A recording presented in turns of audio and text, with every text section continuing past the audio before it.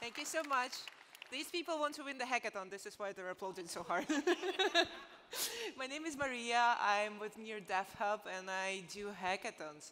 And including this one, uh, I think we did a pretty good job with 800 registrations, on almost 800, and dozens of submissions. So DevHub team and me, we spent the last night selecting 11 most interesting pitches. So today at the pitching competition, we will present you top 11 and we will select one of the winners of this hackathon, the winner of the nomination pitch competition, right? So the rest of the winners we will announce online on November 17th, so don't get too excited. This won't be the winner of this hackathon. This is just one of the winners.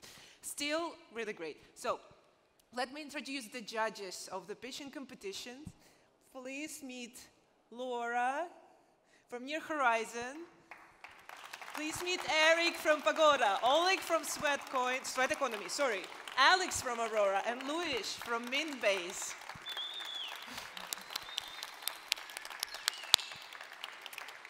So this is how it's going to work. Um, they call me Maria the timer because during the pitch competition, when the team goes over three minutes, I just cut them. I just cut them off. So they only have three minutes to pitch, and the judges will have three minutes to answer the questions. So probably two questions per each team. If we're lucky, maybe three. Um, and then after 11 pitches, uh, the judges and me, we will go backstage to select our favorite team. So let's introduce our first team, Obrigado.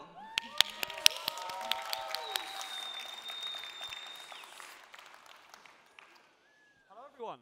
Um, we're Obrigado, and we're here to talk to you about uh, enabling compute on the Near ecosystem by utilizing idle computing power. So currently, uh, the Near ecosystem facilitates front-end, um, decentralized front-end using BOS, decentralized back-end through smart contracts executing transactions, but we believe heavy compute should be, should be part of the near ecosystem. So what's the problem? So this graph um, shows the um, market share trends between cloud providers. And as you can see, the market share trend is going up for the big providers, meaning their, their, their market share is actually increasing and it's becoming less and less decentralized over time. And to compound that, there are also data, as you can see, that um, the data here shows that the demand is increasing more and more over time for cloud computing resources.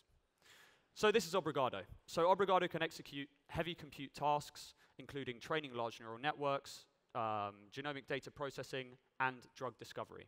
And this is done through task nodes, enabling their idle compute power to be used and this will be executed through the near blockchain. And we believe with Obrigado, heavy compute is near. So our roadmap. So during this hackathon, we launched our smart contracts on the near testnet, and they're functional. We launched our front end on BOS, and it's functional. And our future roadmap, we want to improve security and privacy for our users. We want to improve the workflow and the user experience. And we also want to support more languages. Currently supports Python, but we want to be able to reach as many different providers, uh, languages as possible. So our team, we met just a few days ago at the hackathon, and it's been amazing. Um, we come from a variety of backgrounds, including technical experience in the centralized cloud computing space. So here's a quick demo. Yeah. So as you can see, we have two worker nodes, and we have a task submitter. So the worker nodes are currently searching for new tasks that are added to the near blockchain. And as you can see, the task submitter submits their task with a bounty of 10 near. The worker nodes are now receiving this task. They found it. They're processing the transaction.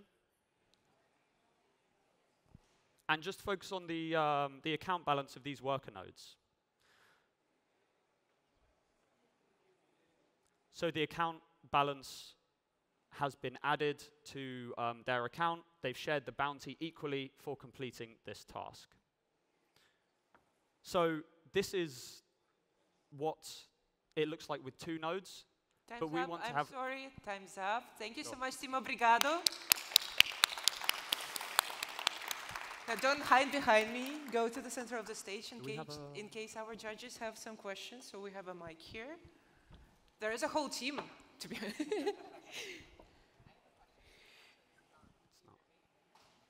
going to scream my question. Um, can you talk a little bit more about what your go-to-market strategy is? Who, are, who would you target first as like the end user of this application or this tech? So um, yeah, uh, it, would be basically um, any kind of research institutions or um, think of somebody who, who wants to, to train large-scale neural networks, um, um, microbiome research institutions, DNA processing facilities, and things like that. So anybody who would use um, uh, traditional cloud and centralized cloud could opt in as this um, uh, for this alternative. Is there any is there any verification of the results of the compute? Um, do you do it uh, multiple times, or how does it work? Yes, basically uh, every job has um, um, an infinite amount of, uh, can be taken by any amount of nodes. And once results are submitted, they are uploaded to IPFS or any kind of external storage. And uh, on-chain data stores only the location of that result and the hash. So at the moment of, of the result submission, the hashes are compared. And um, at that moment, if there is at least one different hash, then the job goes into a challenged mode, and then uh, there could be a way of uh, having a whitelisted or trusted nodes that are going to perform only, uh, like validator nodes, that are going to validate only those challenged jobs. And in that case, if the um, challenged results matches this, um, so the, the reward or the bounty is going to be distributed only to the nodes which submitted the correct result after validated trusted result comes in. Are you going to be price competitive, or what's going to be the, you know, your differentiation? Why would these institutions sort of use you?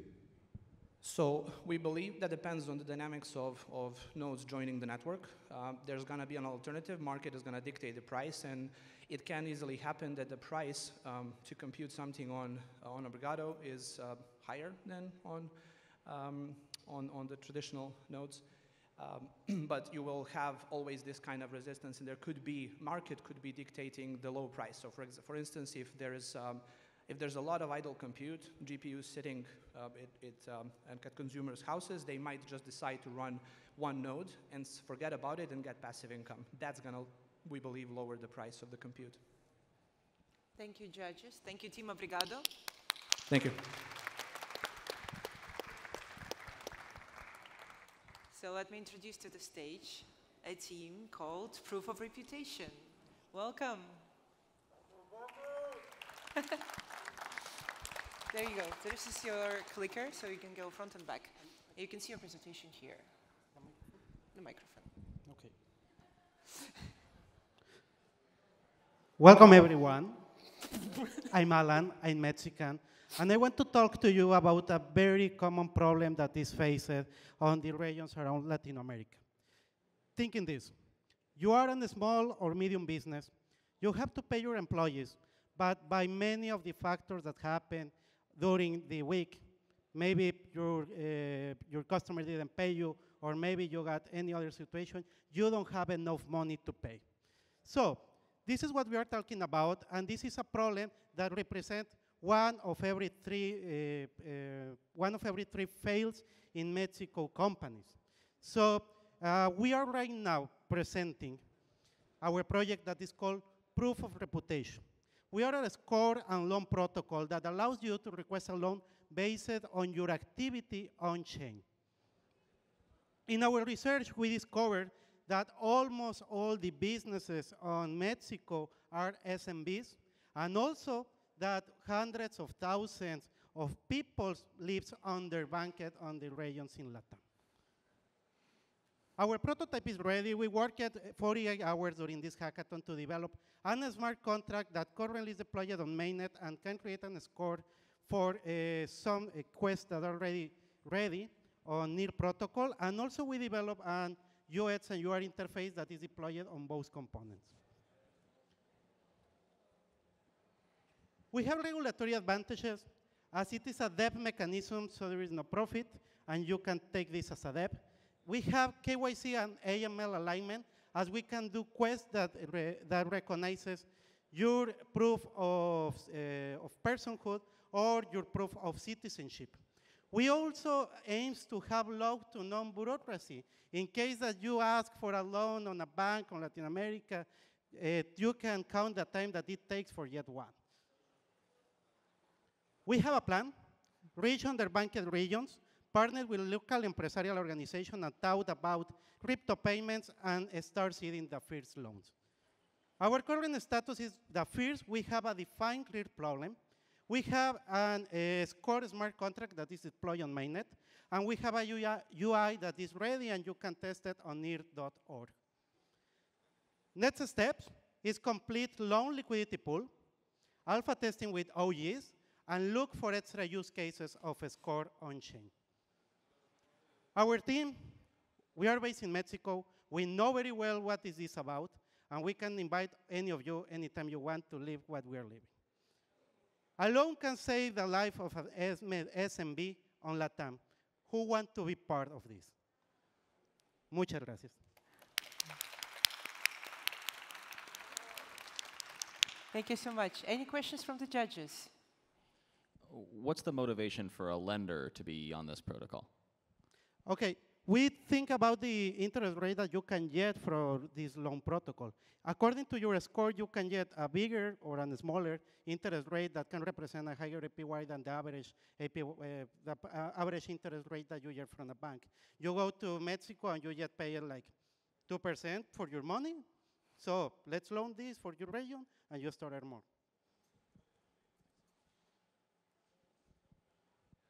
Thank you. If you don't have any, ah, one more question from Luis. Are you using NFTs, and if so, uh, can you explain a bit a bit about it?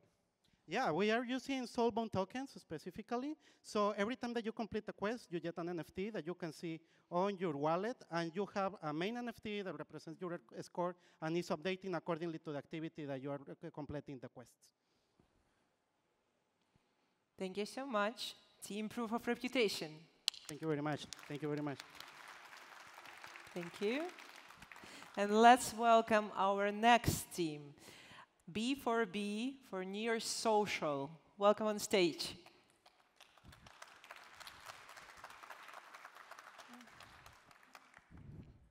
Hi, I'm Anna.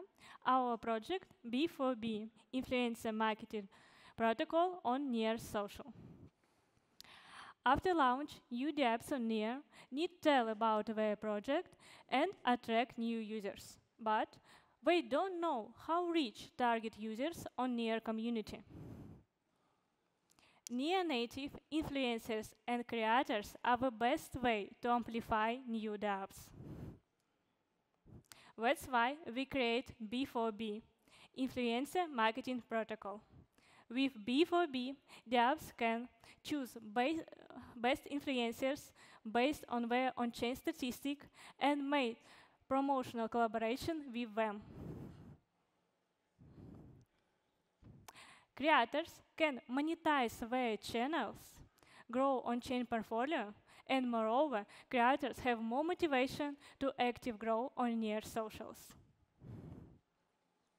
During NearCon, our team collect also uh, on-chain data from near social graph, support ad placement on near, and ad verification using near profile. Let's see how it's work.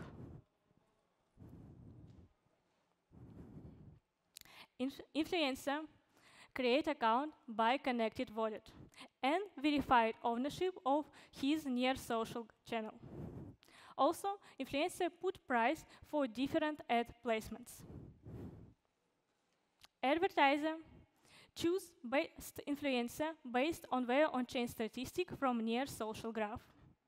Ad make ad booking. For this, he choose best ad placement format, date, and send content to the influencer. Advertiser uh, Advertiser make pay payment via B4B protocol smart contract on Aurora in USDC. Influencer receive ad order. If influencer like the order, he accept it. And after this, on planned date, he download content and make publishing on his near social channel and send link to the advertiser.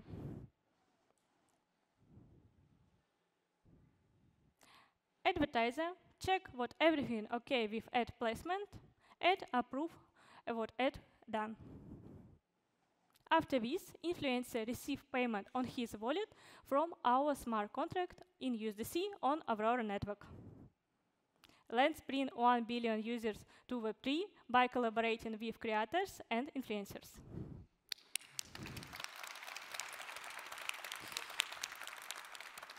Thank you, Team B4B. Judges, do we have any questions? Can you talk a little bit about what you think is your total addressable market? Like, how big do you think this space is? Who are you going after? Are you planning to bring more people into near social? Is it sort of a recruitment, or is it really more to sort of spur, you know, um, the the work that's already happening with the people that are on near social? Yes, uh, we integrated a near social graph, and it's possible to place the near social uh, on uh, and collaborate with different influencers here.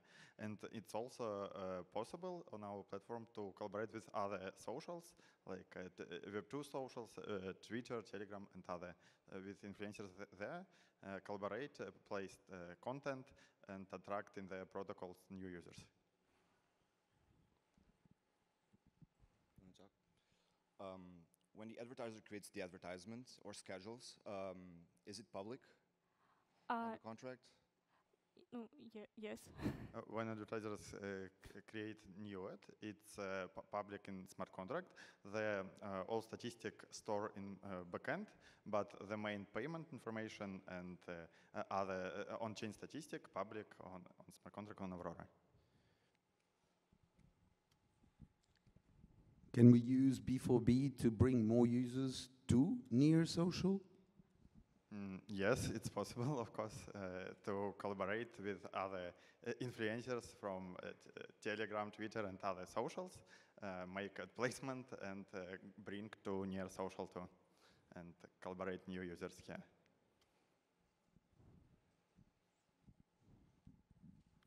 So recommendation to Near Foundation to start using the services of B4B? Bring more people to near. Thanks, guys. Yeah, thank you so Thank much. you, judges. Thank you, Team B4B. Can I please have my clicker back? Let's welcome on stage the next team, Partingo. I promise this is going to be fun. there you go. You can see it here. Hello, everyone. I'm Olivier de Smet, and I'm part of Partingo. Two weeks ago, I was here in the exact same room, and I was listening to Ilya's talk about the near and the POS and Urbit integration. A bit later, me and my team attended ETH Lisbon, where we built Chipper, and we were like, why not? Why not do a back-to-back -back hackathon? And we felt like, what can we do for Near? Well, we wanted to help bring the masses to Near by building Partingo.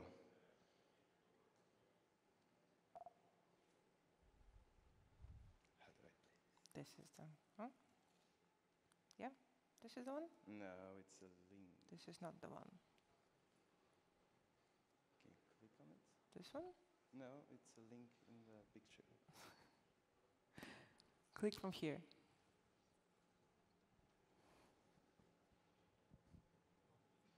Sorry for the hiccup. The time is ticking. No, no. Time is not ticking. That's unfortunate. We'll just, which slide? You need to switch from Mac OS to BOS. You can just click on it. okay. Present to you? Well, either way, it doesn't matter. you can go to part.ngo and actually check out the UI. Um, basically, Partingo is a game that you can play whenever you're with a party of friends, hackers, or colleagues and you're about to go to an event. Um, on Partingo, there's a lot of presets for, for example, a hackathon or a road trip with scenarios. And you can select which friend you think is most likely to end up in a certain scenario. So, for example, you go out on a club night and someone gets too drunk, someone loses his phone, someone gets kicked out by the bouncer. You can actually predict which friend will be in this scenario. There is a point system to it, but eventually the event log of this game gets thrown into an LLM and makes a recap of the night, creating a beautiful memory. So this is how we will bring near to the masses. How are we getting Partingo to the masses?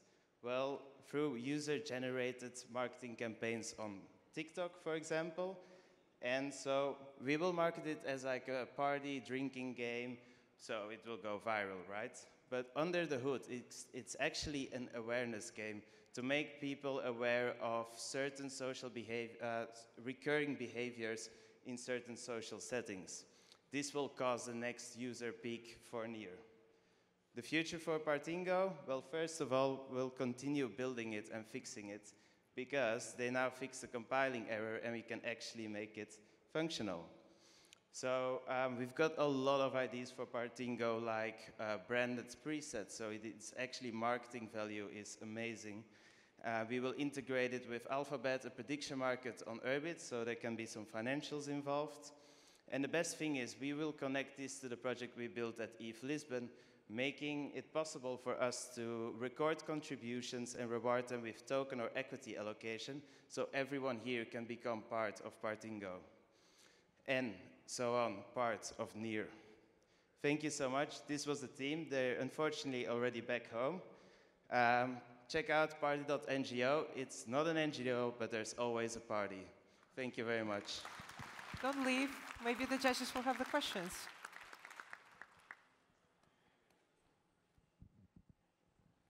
I'm just looking at your demo and it's pretty slick. Uh, mobile first? Yeah, mobile only at the moment. Uh, well, if we want to reach the masses, we go for mobile. Um, the UI was almost finished, but we were struggling with a few things. Uh, extra day of building, and this will actually be functional.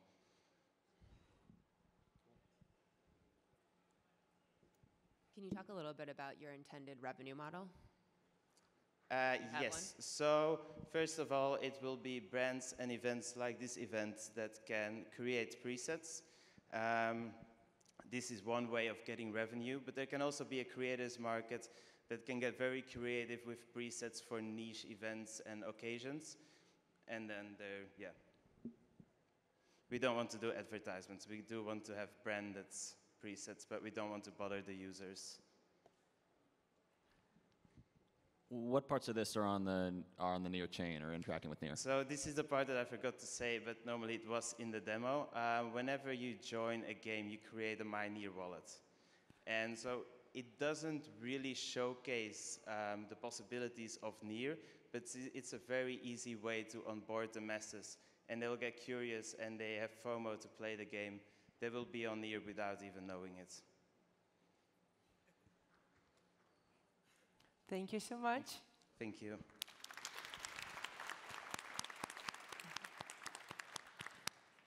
So let's invite to the stage our next team, which is called BOS Mutation. And presenting a guy in a t-shirt, legendary Pokemon. I, I mean, who could be that? okay. there is a clicker, so you could click to the right and use your microphone. Okay, hi. Um, I'm from Dapplets team, and we have implemented the BOS uh, mutation proposal. Uh, what problems does it solve? Um, BOS component on the website, they are easy to fork, thanks BOS, but actually they are hard to be used. Why? Uh, assume you would like to insert a button uh, into the existing BOS website, like Near Social. Uh, here is, uh, it is, it is a, a, dislike button. I am the owner of the change, but the website is owned by someone else. So what should I do? Uh, at first, I have to implement the button, no problem.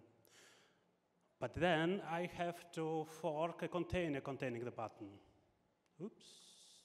Uh, please. Okay.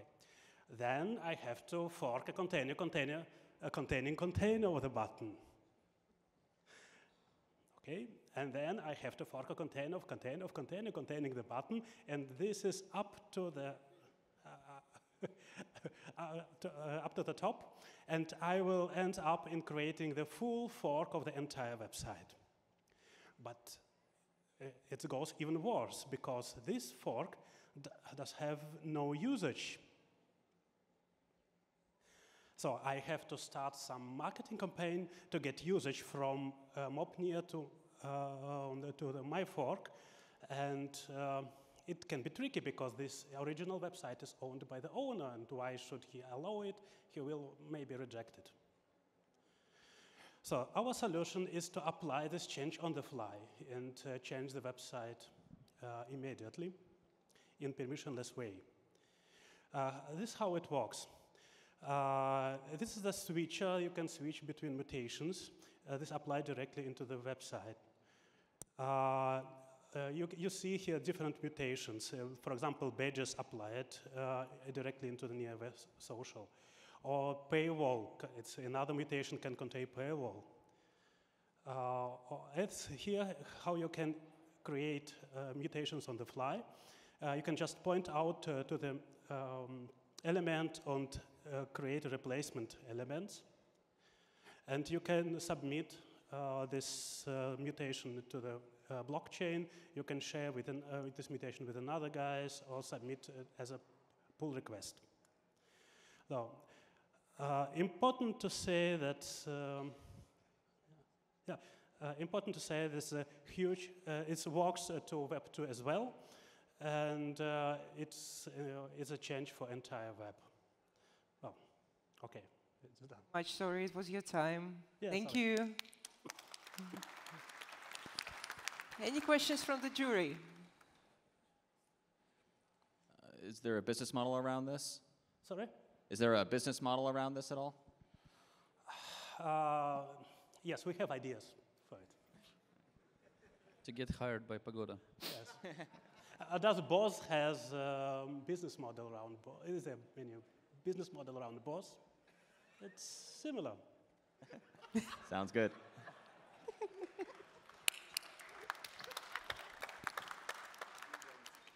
Are there any possible negative consequences to being able to mutate things over and over and over again? Can you talk about any of the risks that you've thought about in terms of the, the tech, or are there no risks? This is a perfect solution. Um, maybe I haven't understood you, sorry. So I, am curious if you've thought through, are there any risks from a technology standpoint or technical standpoint um, or user standpoint of having mutations upon mutations upon mutations sort of happening throughout, um, throughout the space? I'm asking how it will go uh, distributed. How yeah, exactly. Yeah. Yes, uh, the, the idea is uh, that this mutation uh, will be maintained by communities uh, because, um, for example, for Twitter communities, uh, um, NEAR has uh, 1. million users, but uh, specific communities like Near Social has uh, 10,000, and they will be interested uh, to engage uh, Twitter users into their community, and they will uh, make specific mutations to engage people from the outer community into the, into, for example, Near Social community or Learn Near Club community. This is how it should work because uh, smaller community are interested to engage people from the other community and mutation is a tool for this. Thank you so much, Team BOS Mutation. Can I have my microphone back? Thank you, and the clicker. So let's invite to the stage next team called Uni Help.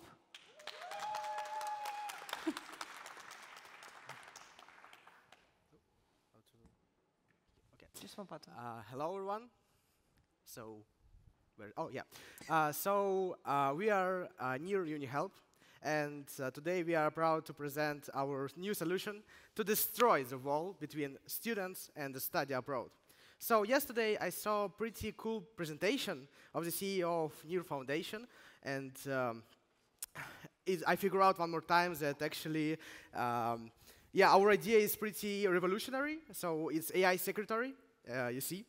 Uh, so, uh, market data.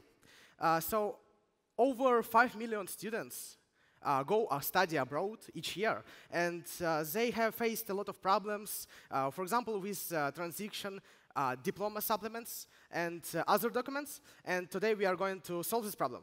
So how we want to do this? So here you see that we have a student which is going to bring documents to the uh, university, yeah? And usually it's some employee who do boring work, but today we do absolutely new attitude. So we have an AI. When university types the correct data into the AI, it's matched automatically all the subject which needed to match and uh, send information to near blockchain. That each product or each university can also send this information and use this information for their own competence. So, uh, what we done? Actually, we have a, a smart contract uh, who creates another smart contracts for each university. Uh, so, for example, if you are like a Harvard, you comes to us, you ask for a new smart contract, and we create exact new smart contracts for you uh, to work with uh, our application. You can use our AI or not our AI, it doesn't really matter. But our AI will be trained on the information what's stored in the blockchain database or stored on our cloud. It depends on uh, are you working with us or with other uh, similar project. Uh, so, uh, what we have next? Uh, next, we have uh, our uh, quick video presentation. so, I guess it started, or not? Uh, so yeah, it can be started. Yeah, so uh, you can input information. It's actually how it works. So uh, you write down the university, what you're going to send your data. You can write down the name of the contract, what is the owner of this, like university, storage, and also name the disciplines of what you're going to add. And in this case, uh, we add a geography or we can add a mass, and you can see that it's automatically matched by AI. So you can add one more subject on just save, and it goes to uh, train uh, AI on the new data or to give you back uh, original and uh, good PDF of the diploma. Uh, so next slide.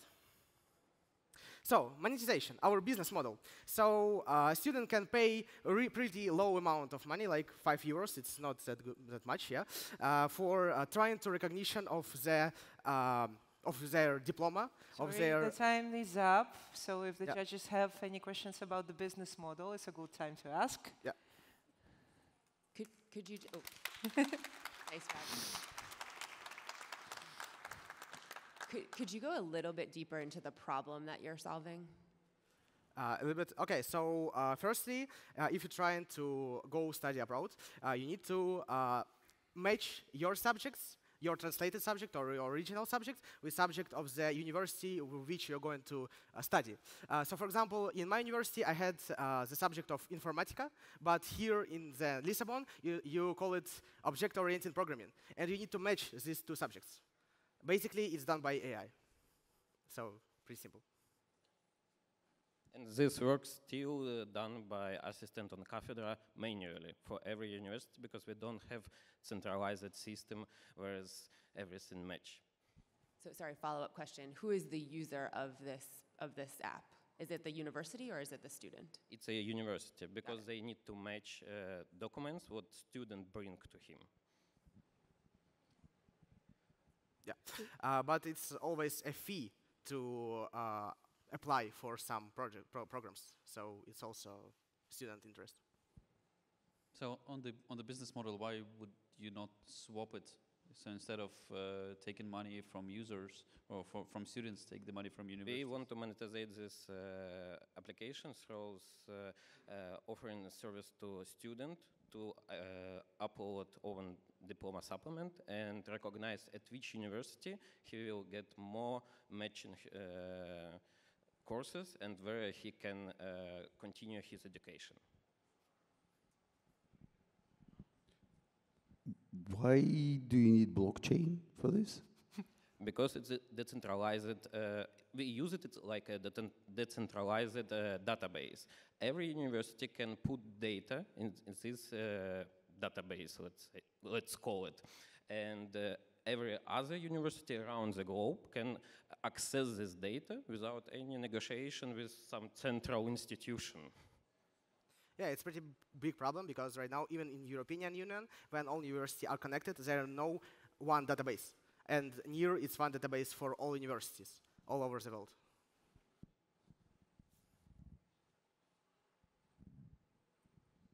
Thank you, judges. Yeah, one more question. Yeah, Yeah. Can you explain a bit of your AI, like how, how it works? Uh, it uh, just uh, learning from uh, data what we put in uh, blockchain. It's a language model who just try to recognize uh, if, if this description from diploma supplement fit to our description. That's all. Thank you, team. You need help?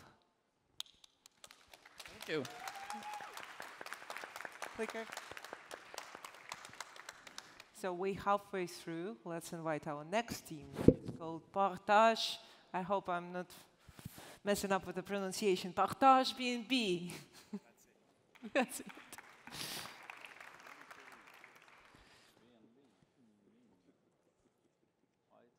You know, I remember looking under my rug at my Airbnb in Lisbon, and I couldn't see any key. So I dialed up the owner and I asked her, Well, there's a key missing. It took her about three hours to come to the apartment, and as a traveler, I had a bunch of luggage, so I couldn't really do anything um, but sit there. And when she finally came, she gave me the key, and we just started having a nice conversation about Lisbon and the restaurants in the area. And this whole experience inspired me to like think about in our team to build a token that users will receive when they book a hotel or Airbnb that will act as a digital key for room access. And this token, when used and when shown to restaurants and other places, it will be used as a verification for the restaurant partners to the hotel to give people discounts. Combining these technologies on Near, we decided to combine Partage and Rodit to create the solution. So Rodit is a non-fungible token that is digitally signed.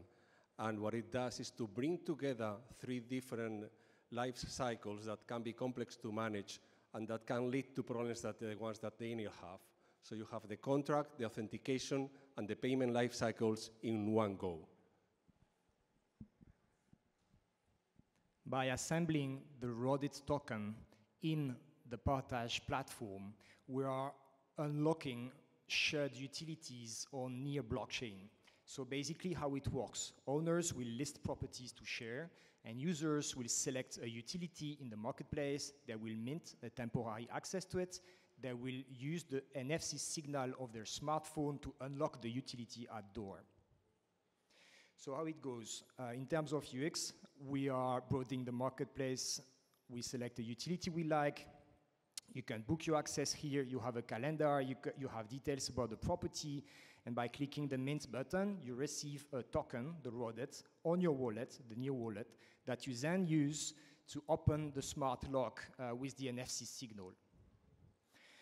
We conducted a bit of market research uh, and have pending partnerships. Um, so actually, we realized that one of the most important things for crypto ecosystems is to grow adopters in real life. And we found out that hotels see them as promising partners. Also, smart lock brands are in a quite competitive industry and they seek for niche markets. So we will, uh, for the next step, integrate our solution in existing NFC readers and follow up with the hotels who wanted to try the beta testing. Thank you. You can the QR code. Perfect timing. Thank you so much. Judges, do we have any questions for the team Partage?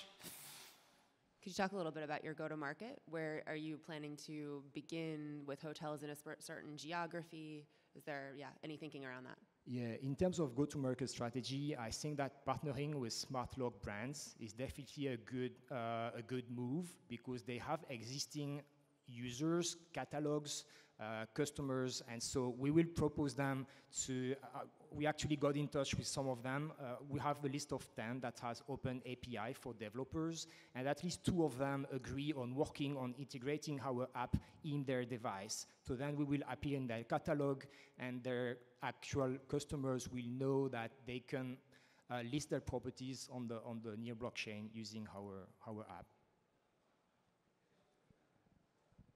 What parts of your solution work today, and what's sort of future functionality?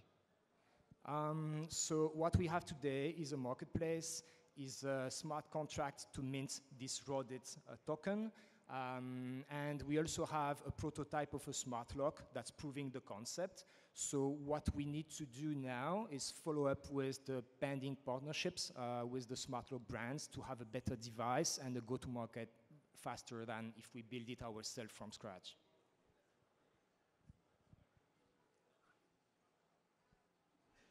Any more questions? If you try to operate through NFC, does it mean that um, it's not going to work on Apple? Because Apple devices are quite tightly controlling that. So the Rodit works with any device that can use a near wallet. Uh, the, uh, we actually have submitted a standards proposal, so this particular type of token can be displayed gracefully on any near wallet. So it will work on any operating system. No, Rodit would, but opening of the doors and usage of NFCs linked to Rodit. Ah, yeah, that's, uh, that's uh, totally compatible because we are using uh, elliptic cryptography for the signature of the Rodit. That means that by installing the public key in the smart lock, we can validate that the NFT is authentic and valid, even if the smart lock is offline. And that is quite widespread. You know, you have libraries for elliptic curve cryptography for any kind of uh, Internet of Things device. Well, it's one of the most established ones and most trusted also. Thank you, judges. Thank you, Team Partage. Can I have my clicker back? Thank you so much. And let's welcome to the stage our next contestant, Nick, with the project Assistant. Oh, a sister, sorry. Is it a sister? A sister. There you go. Clicker. Thank you. Hi, everyone. My name is Nick, and I am happy to present to you a sister, which is developer and relationship platform powered by AI. We have a huge elephant in the room that no one is talking about. There are 30 million web uh, software developers worldwide, but only 20,000 of them contributing to Web3. Why so? Because developer success pyramid, it's not only about ideas, it's also about ground layer, it's about knowledge management, it's about onboarding and support. And Web 2 folks, they already have like 20 plus years, almost 30 years to build all this so developers in Web 2 can succeed. But in Web 3, we are not there. And we have two sides of this problem. On one side, developers who struggling to find tech documentation when they need to keep building what they want. And on the other side, we have DevRel engineers who are doing monkey jobs by simply asking, uh, uh, uh, simply replying on the same repeatable questions. They don't have any data to improve the processes. And it's not scalable, it's not attractive, it's not automated. It's not the way how it should work in 2023. Our team was quite surprised with Illia's vision about AI agents, and there is like second box uh, development relationship agent. It's basically what we are working on, what we believe it as a team. And here we are, as sister, we connect all sources, we deploy AI bots, it could be Discord, Telegram, or web application, and we hope that it's improved dev experience. Right now you can scan um, QR code, it's basically our Telegram bot, which is already live. And but still it's not enough because we need human in a loop. And human in a loop, we have already collaboration. We just discussed it yesterday with Heroes. Our first bounties are there. If our bots are not capable to provide high quality uh, uh, support, you can go to Heroes, submit on Stack Overflow issue, and community members will uh, respond to you and we'll get bounty and we will retrain our bots based on this response. The same with updates documentation, we can do it with near tasks. So we have this a sister flywheel where community contribute, community get actively involved, community get rewards, and a sister works. So it's like very sustainable approach. We have a, uh, a team who has uh, first-hand experience this problem on both sides, as a developers and also as a, uh, community managers. Um, if our vision to empower the next million of Web3 developers to build the products without spending a seconds on searching docs or waiting on manual support is something that resonates you, reach me out. Would love to hear your uh, thoughts on this. needed. Any questions from the judges? Thank you. So um, OpenAI just released chat assistance this week. Um, how are you going to compete with that? Yeah, like we are not offering one chat that uh, very specific. Uh, it's like a first part. Second part, we offer the whole platform and the whole flow that automates and have two parts in a, a human in a loop. Like one it's a DevRel team who can contribute the experience, understanding of ecosystem, how everything works, understand the priorities and, and like the right routes, the right way of uh, building some specific smart contracts or some specific ecosystem. And it's very important because if you will just upload any tech documentation from near to these bots, it would be mess. It would be hallucinating, it would be uh, not correct answers, not correct support, and so on. And also on other side, we have community who actively working, so they are doing test features at the beginning, but then they also uh, get rewards and also they can contribute to the quality of these bots. So it's not about like creating a vector database, which is one element of our system, but it's like the broader automation of DevRel function on protocol level. Thank you. So how does the system know when and how to involve a human? Yeah, so as soon as, uh, like at the beginning, we are doing uh, pre-training work in collaboration with DevRel engineers. It's something that we already have experience to do because we just launched three weeks ago on Solana, and we already aggregate a lot of feedback from 200 developers who already use our solution for them. And right now, like over the next three weeks, we're gonna launch second version based on improvements that we got from DevRel teams. They have 12 DevRel engineers, and also based on uh, contribution from community. So community, what they are doing, we launch bounties for them, and uh, they can like build whatever they build, ask questions, we provide response. If it works, it works. If not, they can submit the bug report on Stack Overflow or Stack Exchange, like, hey guys, I found that this response doesn't work. It's kind of hallucinating or it's low quality response. And we, um, we're taking this data from this user, it could be through wallet, and we can reward that he submit like one, two, three dollars for submission some bugs.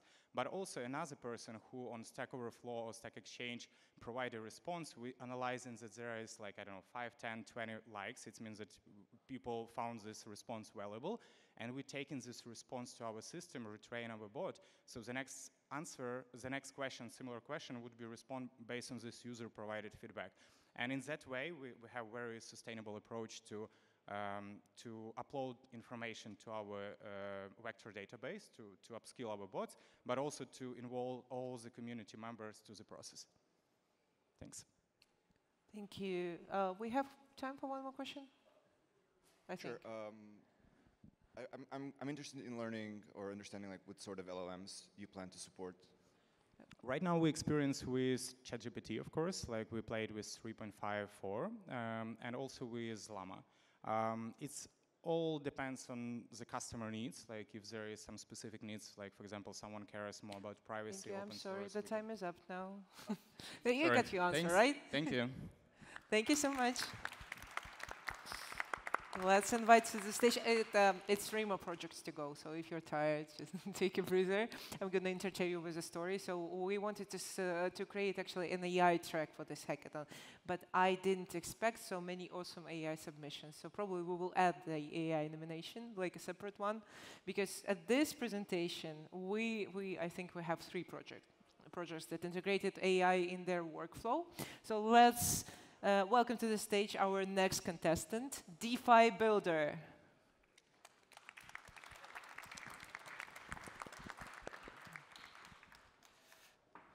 Hello, my name is Daniel, and I'm here to present DeFi Builder, the world's first fully no-code Web3 development platform that will empower the next generation of Web3 builders. Our goal is to fully democratize DeFi uh, development. Uh, the remote is not working. Um, the problems that we encountered when we first joined the Web3 market is that we had incredibly high costs for development, very low security with freelance developers, and very long development timelines. And moreover, it was very skill specific. So whenever we needed something very specific to develop, it was incredibly hard to find the right developer for our own quest. And this is exactly where DeFi Builder succeeds. Uh, our protocol works on a modular structure. So essentially, it, it works with plug and play modules that users can utilize to deploy tokens, DEXs, uh, launchpads, and lending and borrowing platforms, and any other core DeFi protocol. It has customizable front end, so you can uh, consider it somewhat similar to WordPress, for example, but for Web3. And we will also have a module marketplace that will empower Web3 developers to start their own modules on our platform and make earnings from them. For NearCon, uh, we also developed a special module that is uh, Near AI, and it is an AI-powered, uh, fully, um, it's an AI model that was trained by us to generate smart contracts for users. But how does it work? Essentially, users can go to our website, they can pick their chain, in this case we have Near or Aurora, and then they can connect with their wallet. For Near, they can connect with the Near wallet, and with Aurora, with any Web3 wallet of their choice. Then they can select from various templates, and then each template will have certain features that can customize the template a little bit more. And then the magic happens with the customization where they can describe exactly what they want for their smart contract. And then they can pick between JavaScript and Rust and generate their smart contract with no coding knowledge at all. Afterwards, you will have your contract that is ready for deployment. For our roadmap, right now we are focusing very heavily on finishing Near AI in the next three months. Uh, afterwards, we will also have an AI front-end generator that will use ABIs from the smart contract to deploy a front-end that is workable. And then we will also work on our module marketplace in the next eight months that will allow developers to join our ecosystem and make modules for us. As far as our go-to-market strategy, we're focusing very much on developers and on chains. For developers, we already have a group of over 700 developers that are working with us in a private group to test our product. And we also have various chains, uh, at the moment three that are uh, fully partnered with us. Our business model has three different types uh, of uh, revenue streams. One of them is on deployment fees, the next one is on module royalties, and the third one is on module marketplace royalties. And our team is a talented team of eight members that have been working with us for the past three years. We've reached over $80 million in TVL across various projects on various chains. And now my colleague Lorenzo can answer all of the hard questions that are technical that you will give him. And for everything else, I'm here as well. Thank you. Hey. I'm here for the technical side, and we worked a lot to make this possible, so I would really appreciate like a technical question. uh, what hasn't worked when you generate a contract here? What kind of errors or mistakes do you see yeah, being generated? That, that's a good question. I was hoping for a more easy question, but it's like a good question. In our roadmap, uh, basically, we want to integrate a unit test.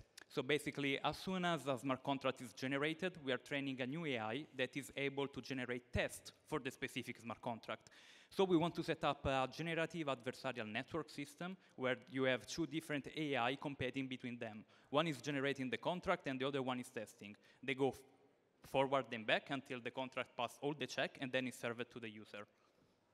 Thank you. Uh, where did you get the data for the near smart contracts? There are not a lot of them.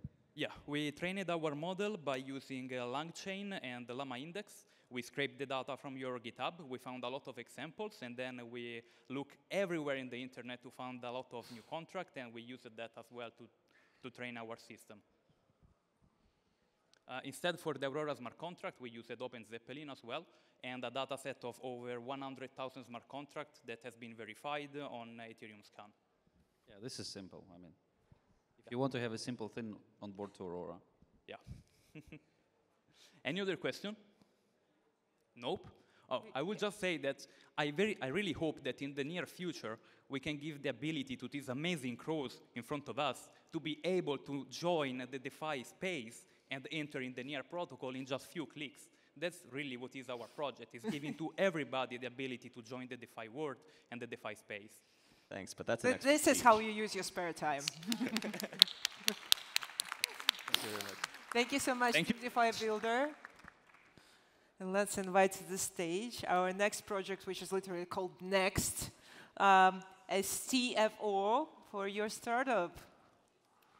Welcome, Sasha. Hello, everybody. Can you just uh, it's a pleasure to, the center of the stage? to see you here. There you go. And uh, I'm a founder of uh, financial platform for startups, Next. And now I'm ready to tell you more about the project. So I worked like a financial consultant for more than 10 years. And previous year, I decided to, to start uh, digitalize uh, the process of business planning. So during this year, we already like uh, collect more than 10 startups uh, which, uh, uh, which waiting for, uh, for the product. So, yeah, it's me. We already have several financial experts like um, a team. Also, during the hackathon, we, uh, we decided to work together with Alex, who is a blockchain guru. And uh, now um, I should tell you a little bit more about the product. Imagine, uh, we have a lot of startups that failed this winter and before. Uh, and uh, less than uh, 10% of startups stay alive in a year. Our aim to help startups uh, make better financial planning and also forecasting of the metrics to uh, see more startups uh, like a businesses. So, uh, what about NEAR? So, uh, a year ago we tested uh, and make a, a little prototype based on NEAR wallet and implement function of invoicing and DAO, DAO collection. And uh, during this year, talking to accelerators and incubators and uh, other other people from the industry, it was it, it became absolutely clear that solution uh, which will help uh, Web3 startups collect data absolutely necessary. So uh, it's uh, our goals for the year, uh, for our go- goals uh, um, this year, and plans for for the next. So. um so, Alex, uh, are you ready to tell more about technology? Yeah, so uh, of course, all the startups not willing to share financial data with any third party, especially putting it on the blockchain. And here where we can utilize the most advanced technologies in crypto space, zero knowledge machine learning, basically to allow anyone to share any data they want uh, with this model, and it can give insight without revealing any details of of this financial information to even the model itself.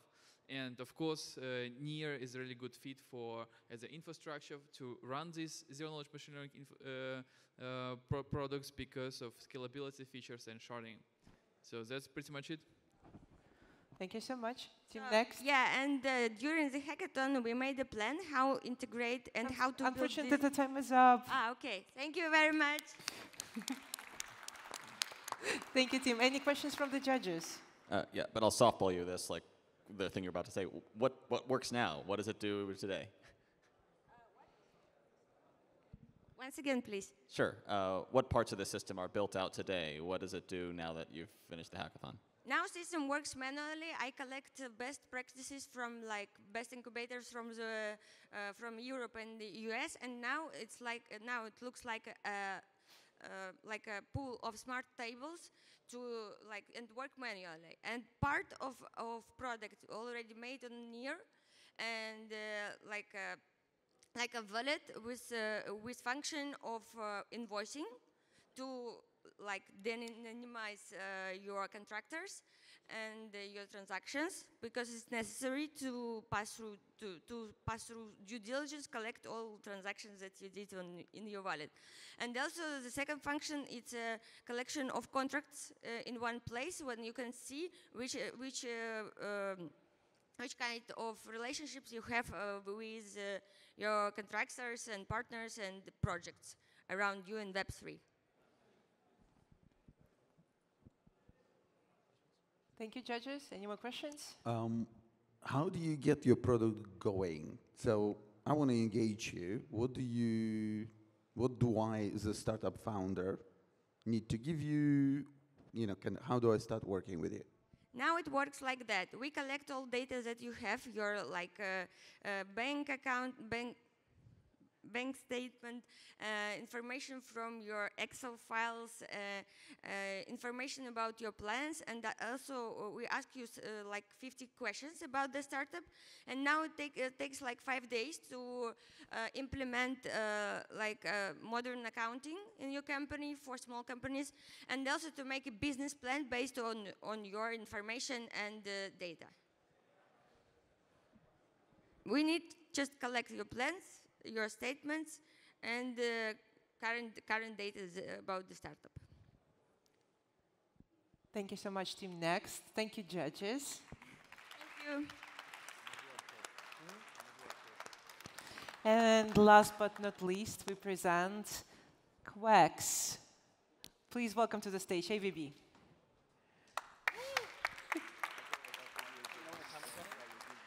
Not yet? Yeah. Oh, you have mic. GM, GM. The rumors are true. I've been recruited by an autonomous AI agent to present to you the future of governance. But first, why autonomous AI agents? Because DAOs are a disaster. We have to stop lying to ourselves. It doesn't work. For many reasons, mostly around human coordination and competence, or lack thereof. But when you introduce AI, it's a new world. Efficiency, they don't sleep, it performs. When you blend it with the blockchain, superpowers. Of course, these ideas are not new. We had an entire AI day yesterday. We had some of the brightest minds in the space share their view and their vision for the space. But today, we delivered. On mainnet right now, you can find our MVP. On an interface which is quite familiar with any GPT agent, you can interact with our grants allocator uh, uh, autonomous AI agent. You can go there now and play with it. We call it a game because it's not a real grant, but you can interact with the agent to see how efficiently it performs. It will ask questions as required. It is polite. It is, it is fast. If you get the message back that you've been funded, it automatically executes the near smart contract and you get your funds immediately. No need to wait for weeks or months or maybe never hear back. Here is a photo of Stephen, our grants agent at work. So what have we done for this hackathon? There are four key repos. The first one is a BOS front end where you interact with the AI. The second one is the backend server. Third, smart contract on Near. And the third one, the SGX uh, uh, server to connect with um, OpenAI. So the secret sauce really is in the bottom right. We've taken the approach of trusted hardware. Some people may try to do ZK, that doesn't work, the proofs are too big. We have cracked the SGX certifier so that without any human intervention, we're able to certify that the inputs from the user are what the LLM is taking into account, and that the input from the LLM is what the smart contract is taking into account. Trusted hardware, we can take the private key all the way back to the Intel factory where the private key is in the trustless execution environment. Are the funds safe? As safe as any commercial cryptography out there right now. So why is this important? Is this a toy for your children for Christmas? No. This is important because first, we need something worth governing. And right now, we have a huge community treasury that is in desperate need of that efficiency layer to get funds out there to the community. We want to start funding initiatives that matter so that in time it will have more and more public goods, which will also become likely governed by DAOs. The future belongs to AIs talking to each other, and we've enabled the trust layer through near smart contracts, smart contracts to make that happen. We've gotten fantastic feedback and would love to hear some questions uh, from the audience or the judges. I'm sorry, time's up. Thank you so much for an amazing pitch. Let's hear from the judges. So, how is Stephen trained? How does he make his decisions? Yes, so Stephen is a traditional LLM, so it will be assessing the input from the user. You can customize it based on your custom data, but this really goes to show just how dire the state of DAOs are. Even basic due diligence, like reading the proposal or checking someone's GitHub repo, even that core level of performance that you would expect from someone doing their job, Stephen will perform relentlessly, efficiently, and instantly. Going forward, we can introduce things such as AI vision. You can have more and more custom data sets. Because all the inputs are near smart contracts, it can actually learn on itself and, yeah, hopefully build more custom data sets.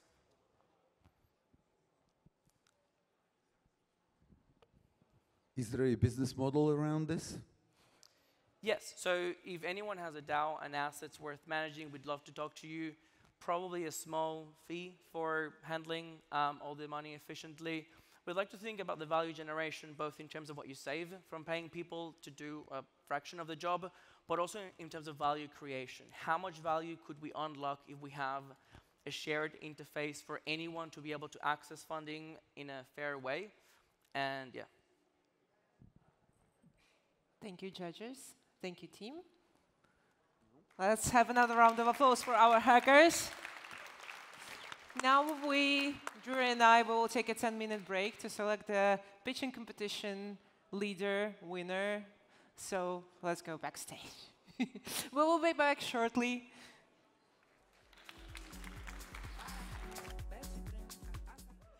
So we have a competition winner, but I won't tell you because I have some more people who want to tell you about this. So we have Chris and Illia for the closing remarks and the announcement of the pitching, competition winner. Welcome on stage.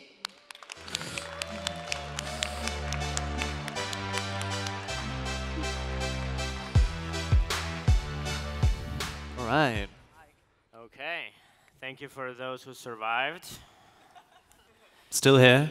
Yeah. Oh, Hope it was a really exciting, good event for you. It's been an amazing event for us. There's been a ton of work put in this, but it's amazing to see kind of all the energy, all the projects, all the community coming together, people building, people kind of talking, finding partnerships. And so, yeah, really great to be here, really excited. And, you know, looking forward to see you obviously still, you know, throughout today, but also in uh, next year as well.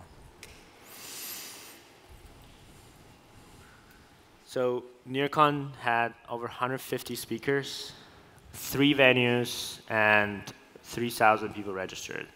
It's been an amazing event, as I said, kind of, uh, if you haven't been to a hackerspace, if you haven't visited other spaces, like really cool, lots of exciting stuff going on there. I mean, you obviously see seen exciting projects here.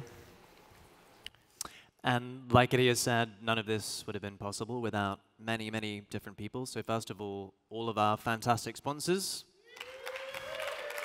Thank you so much. Means a huge amount to us and to the ecosystem, doing some very important work here. And of course, great media partners as well. Another round of applause. Thank you very much.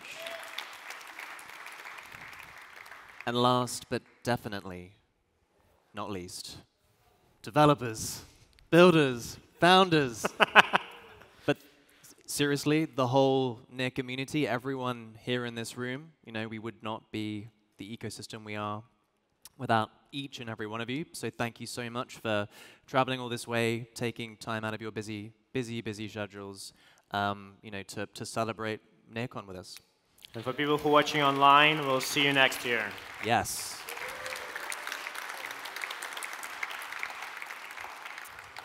So one of the other great things we had this, this NearCon was um, Horizon's first IRL event with 60 hand-picked founders, um, hugely impressive group of people, some extremely exciting projects as well, and this is really just the beginning of Horizon's next chapter, uh, and we're super excited to see uh, what is what is coming next. But I think a big congratulations also to the Horizon team for running such a such a fantastic experience. And I know all of the founders. Um, it was great to, to get to meet many of them, and also they seem to have a an incredible experience. So well done, Horizon team.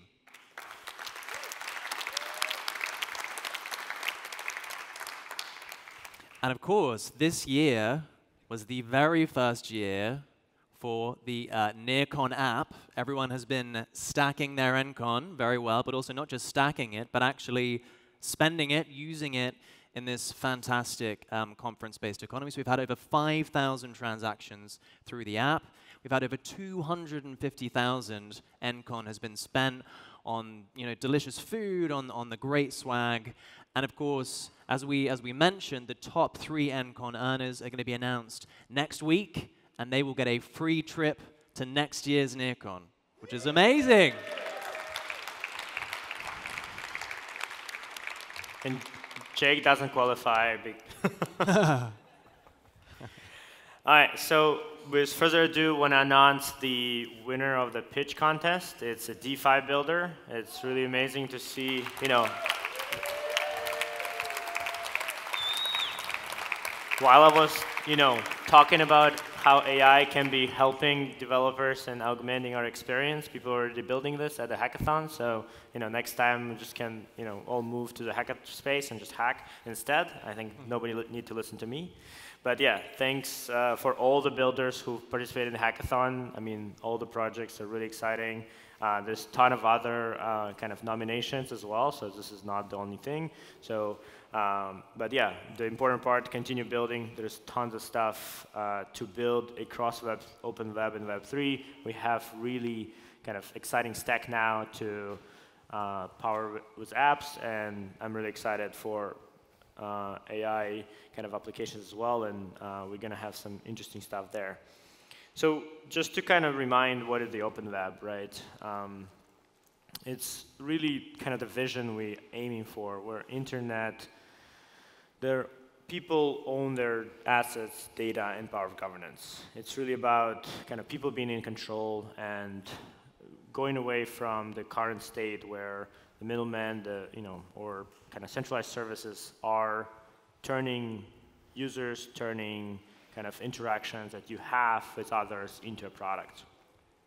And we want to be the place, the ecosystem where the best uh, kind of for founders to build on, right? Not just if you want to use the blockchain, not just if you want to use the front end, not kind of across the stack, anything you build, in this paradigm, we want to be there, help you, and provide tooling, provide the ecosystem support, provide the connections and connectivity.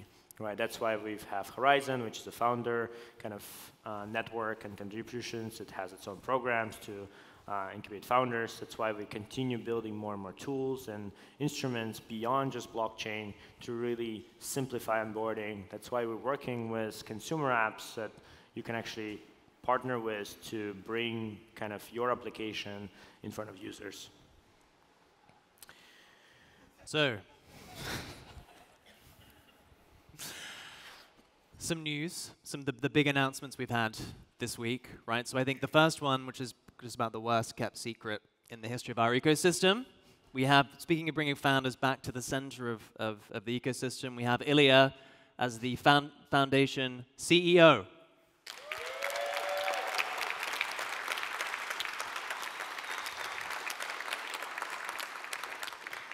And we announced near data availability, right? We're bringing not just, as I said, if you're building on near, but if you're building a layer two, if you're building an Ethereum ecosystem, you can leverage near to drop your transaction costs 8,000 times, which is a lot for those. Uh, and we have first uh, kind of layer twos that are building with us uh, which is really exciting and kind of been an amazing pickup on Twitter as well across Web3 ecosystem. And so this is amazing kind of in this broadening the platform that we're building and really showcasing the technologies that we built, how can it help kind of beyond just, you know, the layer one, but in this broader modularity uh, stack. Then we announced Zero Knowledge WebAssembly partnership with Polygon. This is really a technology partnership, kind of advancing what you can do with Zero Knowledge and allowing to have succinct proofs uh, for pretty much generic computation, to have for scaling blockchains, to have better decentralization, better bridging, as well as more generically, you know, machine learning, computation on edge, going beyond just the blockchain use cases.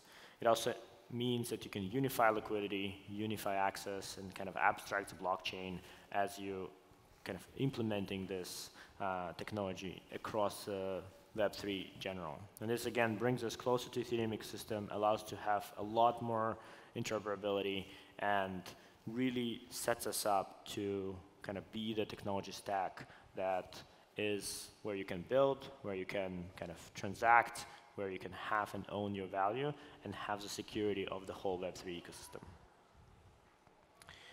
Finally, today we announced a partnership with EigenLayer, which is another way to partner with um, L2s. And this is about leveraging Near's fast finality, right? Near is what blockchain that allows to kind of produce blocks every second, finalize them every two seconds. And what this means for rollups that they can publish their proofs, publish their data, and have uh, not just data availability, but also proof verified and settled by near uh, blockchain. This means you can have 4,000 times cheaper settlement in three seconds, comparing this to hours or days, and uh, kind of with like standard way that uh, protocols doing this. It means you can bridge, again, value between layer twos, and really kind of in the spirit of open web, we unifying the blockchains.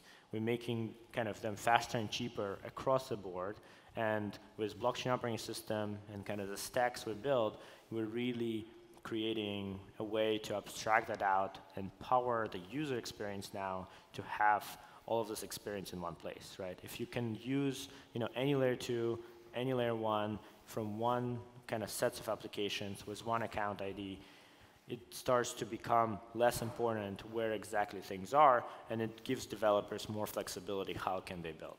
And that's what we're really going after. This allows us to kind of both provide immediate value as well as aligns us for the future, kind of working across the Web3 ecosystem. And finally, I just I mentioned before, AI is near. Uh, the core idea that AI is a transformative technology for productivity, for ways we're gonna consume and produce information, as well as for ways we're gonna interact with uh, value and future work. And we have some chat.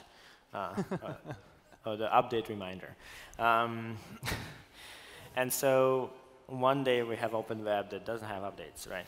Uh, and so AI is kind of fundamental, fundamental vertical for us. It's kind of the background of our team. We've been already working with uh, top AI teams in the space. This was really cool hackathon projects doing uh, AI already, and we're going to continue investing in this space. And you know, stay tuned for more cool announcements around AI and near.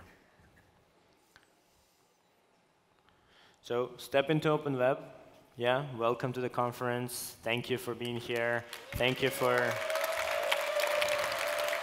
And thanks to everyone who made this conference so wonderful, so seamless, particularly Jack Collier, the foundation CEO, and his fantastic team, Yadira Blocker. Thank you guys so much for everything. Um, and also, final reminder that you know NearCon is not quite over yet.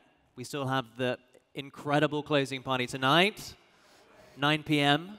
I hope we're going to see all of you there, um, and we can continue the celebration. Yeah, and thank you for Littles to sponsor it and yes. organizing. Thank you.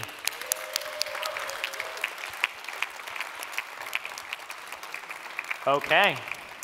Thank you very much. Good to see you all. Yeah, thanks, guys.